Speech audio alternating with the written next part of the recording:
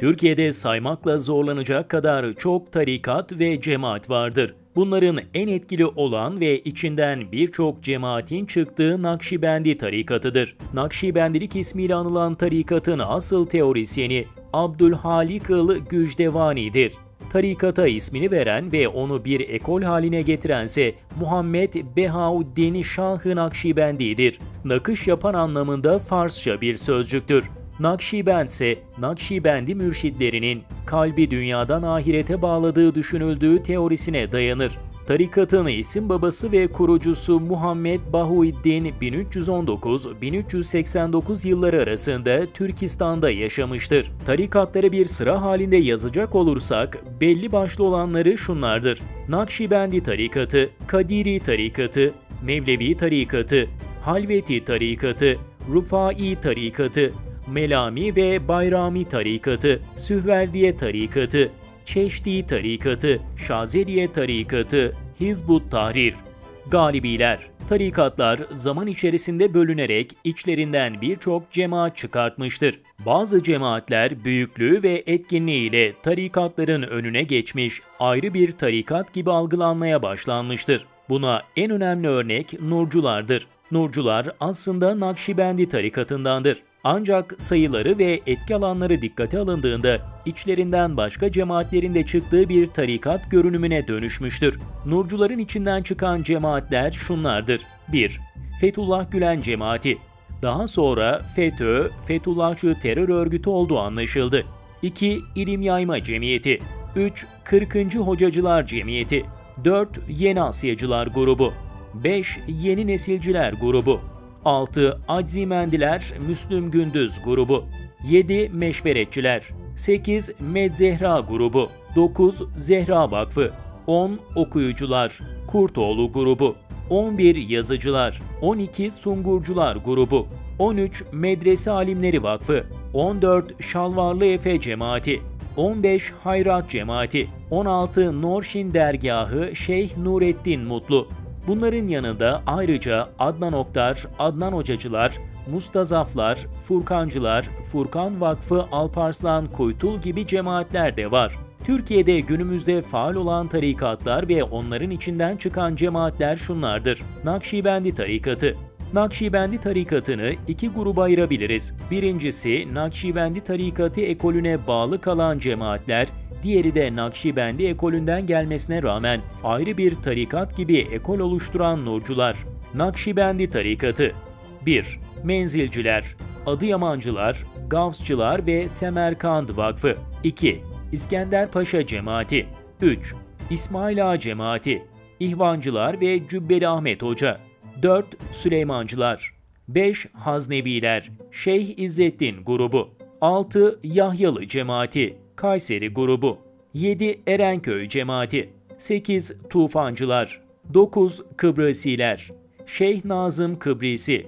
10 Zilan cemaati. 11 Reyhaniler. 12 Hacegan cemaati. 13 Işıkçılar. İhlas Enver Ören grubu. 14 Arvasiler 15 Akfırat cemaati 16 Halidiye 17 Şeyh Muhammed Nayır Erzincani 18 Bilvanis grubu. Kadiri tarikatı Kadiriler. Kadiriler, Abdülkadir Geylani'nin öğretilerini benimseyen ve etkin olan bir tarikattır. 1 Galibiler. 2 İcmalciler Haydarbaş. 3 Tillocular. 4 Muhammediye. 5 Halisiye. 6 Üveysler 7 Şeyh Osman Cemaati 8 Zembiller 9 Hüseyniler 10 Farukiler 11 Bilali Nadir, Nadiriler, 12 Kesnizani, 13 Şettariye. Halveti tarikatı Halvetilik, cehri zikir adı verilen ve ilahi isimlerin yüksek sesle tekrar edilmesi anlamına gelen zikir yöntemini kullanan bir tarikattır. 14. yüzyılda kurulan tarikatın ülkemizde çok sayıda mensubu vardır ve tarikat birçok cemaate bölünmüştür. 1. Cerrahiler 2. Uşşakiler 3 Şabaniye, 4 Mısriye, 5 Ticaniler, 6 Ruşeniye, 7 İpek Yolu grubu, 8 Sümbüliye, 9 Nasuhiye, 10 İbrahimiye. Rufai tarikatı Rufailer İlk Sufi tarikatlardan biri olan Rufaiye'nin kurucusu Ahmet er Rufai'dir. Zikir sırasında vücutlarına şiş batırmakla bilinirler.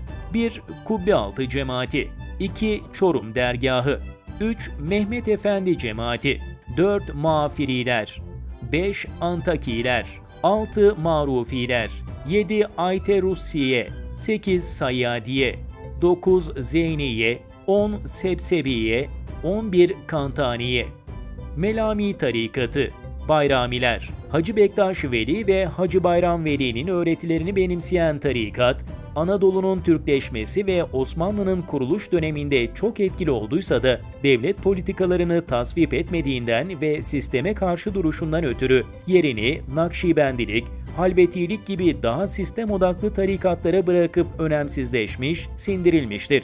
Bildiğimiz tarikat silsilesi ve kurucusu yoktur. Türkiye'de Bayramiye tarikatı Hacı Bayram Veli içinde bir kol olarak gelişmiştir. 1. Maşukiler 2. Aksarayiler 3. Edirneviler 4. Yakubi 5. Kabayiler 6. Kemaliler Sühverdiye tarikatı Türkiye'de çok etkin olmayan ve sayıları az olan Bağdat kökenli tarikat halvetilerle yakın ilişkilidir. 1.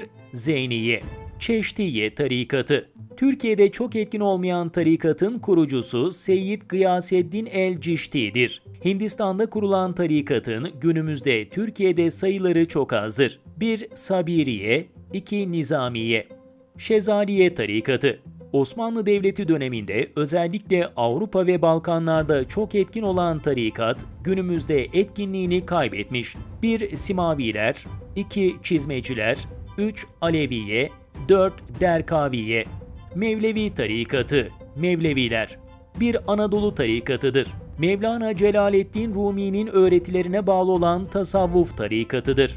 Türkiye'de siyasal İslam'ın ve buna bağlı olarak siyasi partilerin oy deposu haline gelen tarikat ve cemaatlerin topluma din ve ahlak öğretisi vermekten çok uzak olduğu gözlemlenmektedir. Tarikat ve cemaatler sadece dini tanıtmak ve öğretmek için çalışsaydı, ülkede yolsuzluk, fuhuş ve ahlaksızlık bu kadar artmazdı. 15 Temmuz yaşanmazdı. Bu kadar fazla tarikat ve cemaatin olması dini bir kazanç rekabeti haline getirmiş. Tarikat kelime anlamı itibariyle tarik, yol demektir. Allah'a giden yolda cennet vaadiyle para ve şöhret kazanmak isteyen tarikatlara karşı dikkatli olunması gerekir. Son yapılan operasyonlarla Furkan Vakfı, Adnan Hoca gibi cemaatler kontrol altına alındı. Süleymancılara karşı da kurban ve kermes müdahalesiyle uyarı yapıldı. Bir 15 Temmuz daha yaşamadan tarikat ve cemaatlerin kontrol altına alınması gerekir.